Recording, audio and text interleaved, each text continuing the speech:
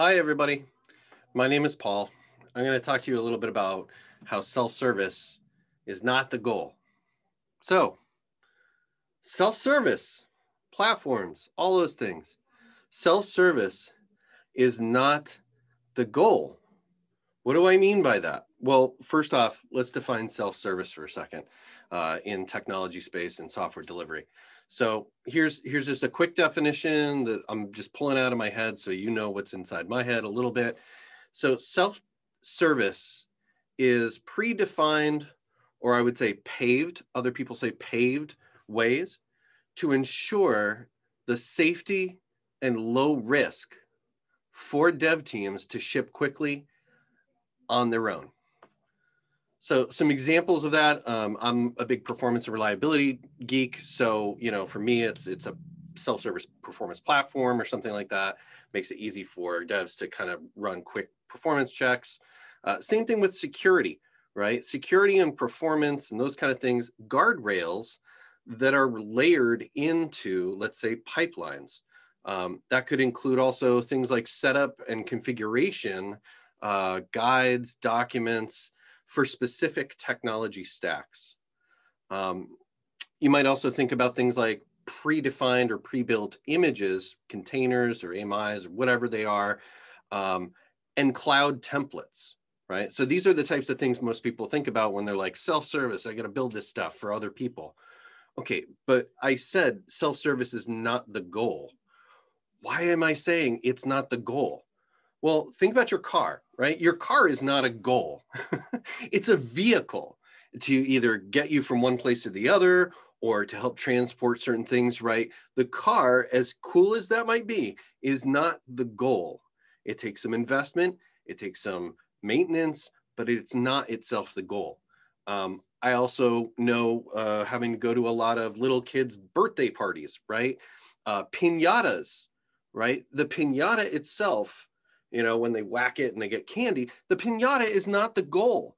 The goal is to have fun, right? Not to hit the pinata, right? That's not the goal. It just happens to be an approach to getting to that goal. And there can be ways that that can go incredibly wrong. You don't want kids going home with black eyes because they got hit by another kid because, you know, the situation wasn't well thought through. Um, just an example from my life.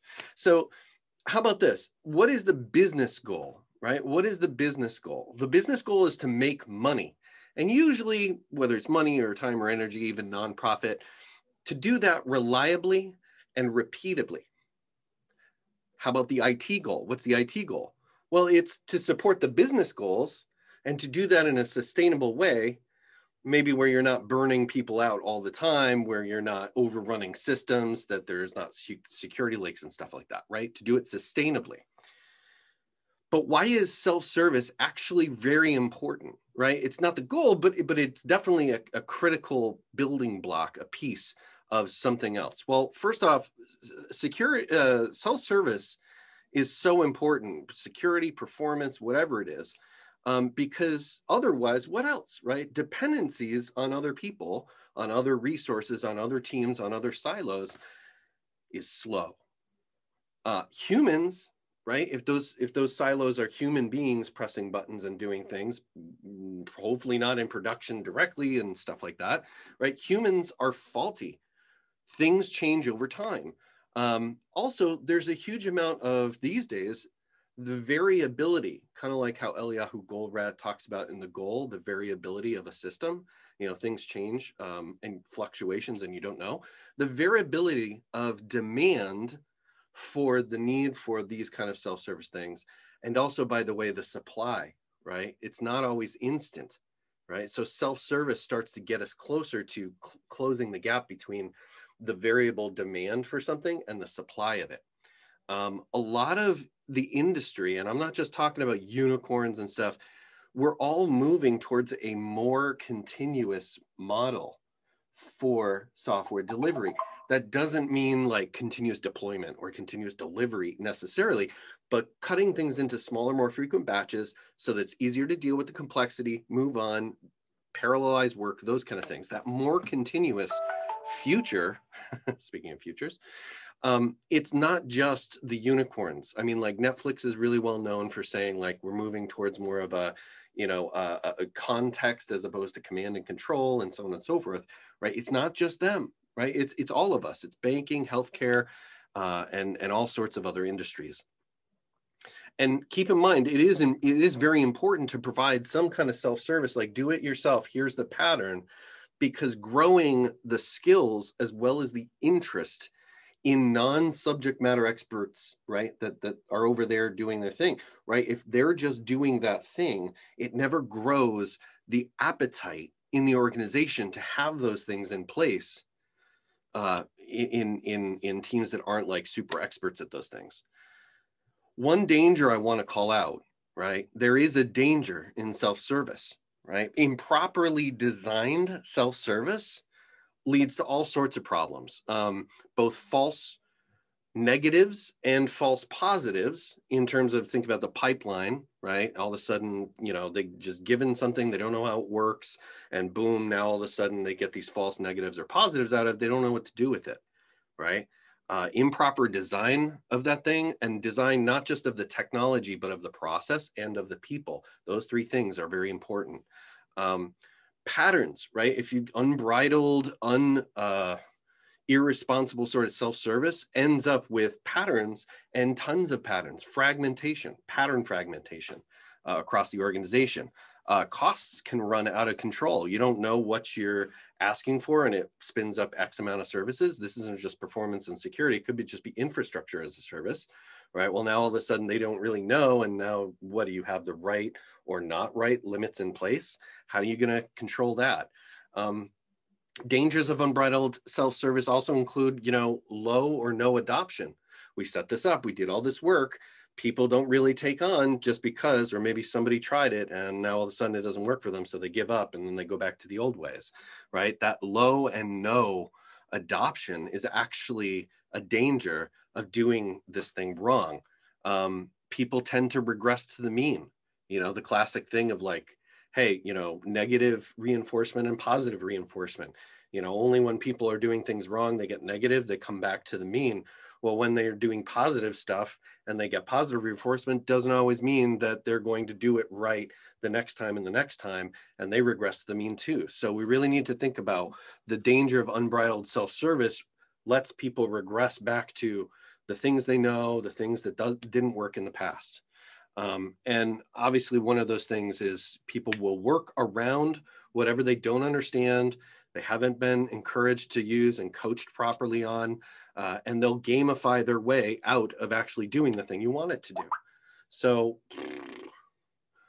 what then, right? What what, what else?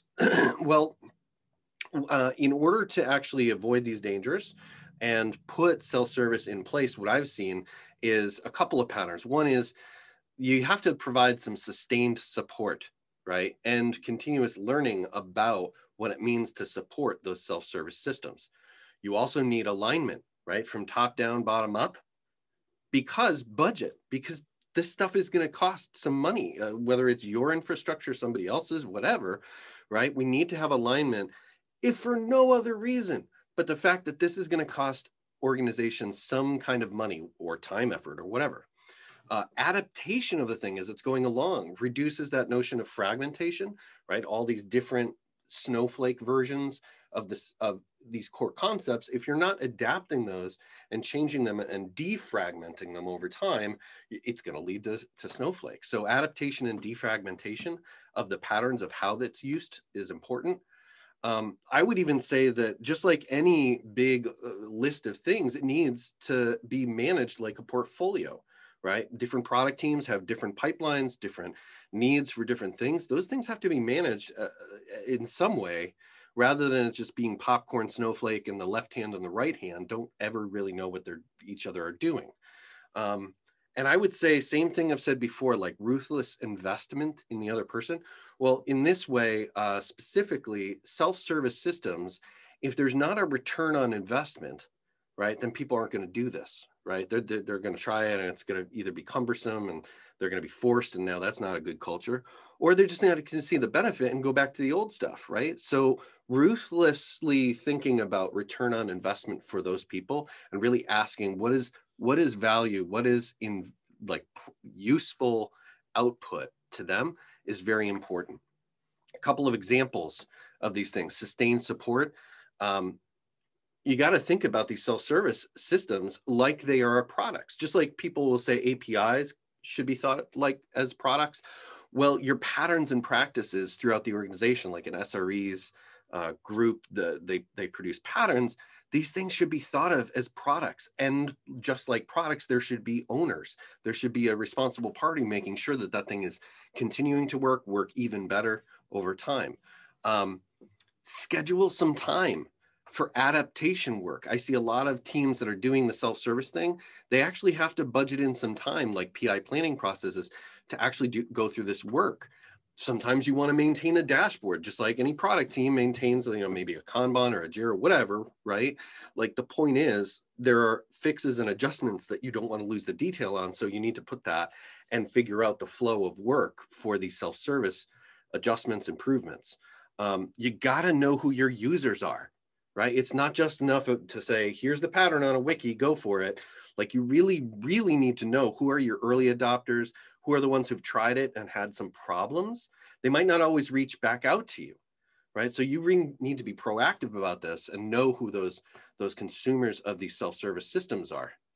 You got to plan for who's next, right? Just because you had a couple of successes with some really fast forward teams doesn't mean that the rest of the organization is fully prepared to take advantage of the value that you brought with this work to get a self-service system for something up, right? So you need to actually take responsibility for like, okay, we did this thing for these people. What's the next tier of people we need to help and, and adopt and support? Of course, budget, right? This example of this kind of stuff is like, where's the infrastructure going to come from, right? Where's the subscription costs going to go? And my concern, the way that most people have done this is, you know, this team manages the budget for these tools, and it's not my responsibility. And sometimes that works, right? Every organization's different, cost centers and whatnot, right? But ultimately, if the product owner who needs something, a critical part of the requirements or features or functionality to be verified, validated, like it should be an easy process to set up infrastructure, if they don't understand the cost of that thing, they're going to go wild or they're not going to use it at all right? So as soon as somebody else is responsible for the budget now they have to think about it really really hard. So with that in mind um, you got to also make these self-service systems easier than what is in place now right? Um, you might actually also want to encourage the that ruthless investment of return on you know return on investment um, with uh, a way to link people's ask for a thing, right? People might ask for a self service way to do this to the requirements that maybe they haven't even thought this is what's driving that ask.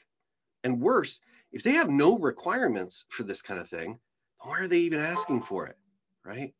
So with that in mind, I think linking the ask of it from a team, from a consumer to make this a little easier or do this other thing, give me a self-service platform to do X can be very uh, mired in unknowns. They might not even know what they're asking for. And so to put them into the practice of linking them this to specific requirements for the product team or their product or their delivery plan, that really helps to solidify the the value of your work their work and then the outcomes. So when somebody says last thing when somebody says we want self-service i would suggest challenge them right?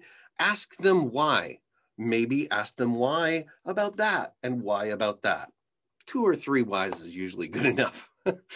Um, you got to define with them what they mean by self-service and what you mean by self-service. What is self-service? And by the way what it is not right? It's not a magic box.